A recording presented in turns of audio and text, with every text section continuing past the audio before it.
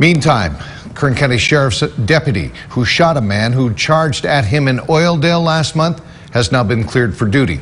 The KCSO says Deputy Ubaldo Weiss was investigating a stolen vehicle on Moneta Avenue. His body camera video shows a man suddenly rush at him in the middle of the night before Weiss shoots him.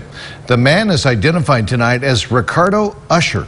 He survived the shooting and has pleaded not guilty to felony and misdemeanor charges of obstructing an officer.